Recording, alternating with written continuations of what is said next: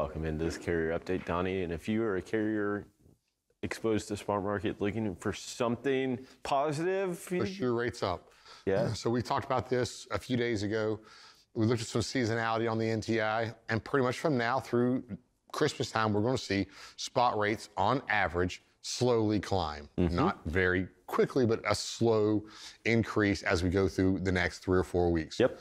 Uh, and that's what we saw the past four years. Is it going to happen this year? Well, so far so good. We've seen uh, ever since about the middle of the month of November, spot rates slowly climbing. Now I'm talking about slowly. We were at 220, you know, 222 back on the 13th. Now we're at 230. So it's only eight cents over the last 15 days. So less than a penny a day. But that's not the point of this chart. This chart is to show us that it is It has moved up. direction. Yeah. So it is happening. Spot rates are starting to pick up.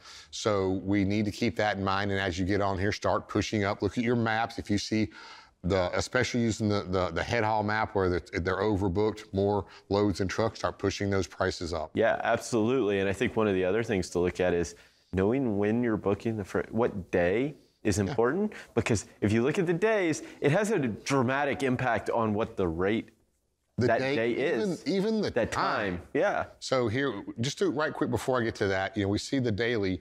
We saw some, uh, you know, big drops right before the holidays, or you know, and then we saw them pick up uh, above the average. And here yesterday, 235, so we're above the 230.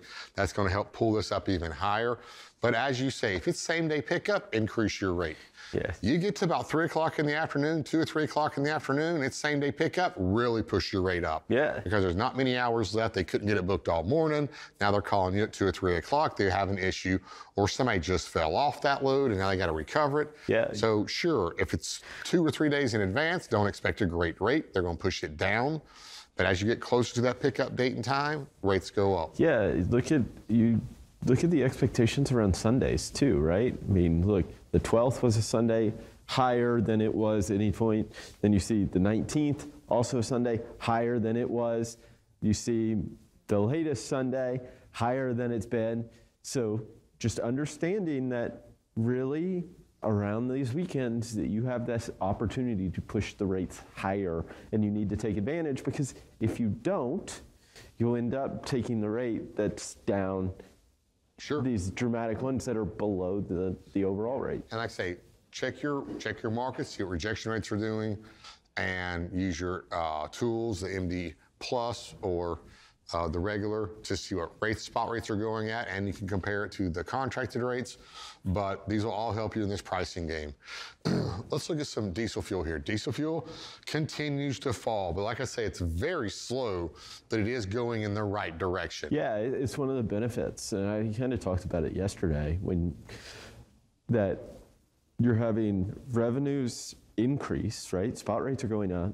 And Your one of your largest expenses is declining. This is the chance to make money. If you're making, this is the chance to You should be making should be making money, right? diesel fuel wasn't I mean, yeah, it's still really high. And we talked about it on Tuesday.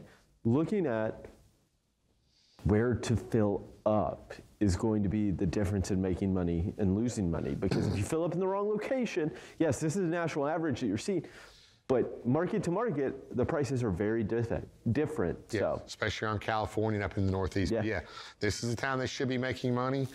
This is what's happening. It's eating, uh, sucking up all their profits, and we'll look at. We're going to look at it tomorrow. We're going to look at the difference of the authorities that are going out. Yeah. And I think starting about now, I think a lot of these guys are going to see that they can't make money this fourth quarter like they did in the previous ones, and they're going to hang it up and they're going to be done. 'Cause Yeah. you, they know going into January and February, if they can't do it right now, if they're struggling right now in November and December, when we get to January and February, it's going to be much worse. Yeah, the conversations, and, and we've talked about it here, is what what does the carrier do? What does that owner operator do? Do they try to stick it out over the holiday and try to make as much as they can and hope that's enough to to pull them through into really through the first quarter, right? Or do they realize, hey, the money's not there. We're just gonna stay at home and enjoy the holidays with our family, and that ultimately will pull capacity off the market. Faster and help push rates up. So it, it's kind of they're like at home. They, they're at home, but someone else is going to benefit from that. So a lot of guys are signing on with companies, but the guys that are in trouble are the guys that jumped in during COVID. They went and overpaid for their trucks, Yep. overpaid for their trailers.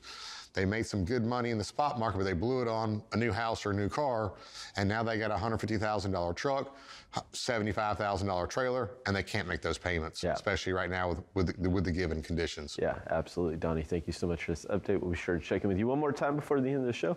Right now, we'll hand it back over to Thomas and Kaylee.